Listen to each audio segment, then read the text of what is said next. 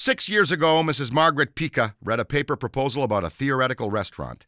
The mission statement read, quote, Dr. Lou's Place is a place where people who enjoy music and enjoy the camaraderie of a family-like environment can have both of these things in tandem.